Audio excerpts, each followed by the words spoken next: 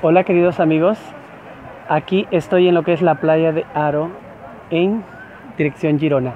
Para que vean ahí están esas dos rocas que son las emblemáticas de esta playa. Es una playa maravillosa.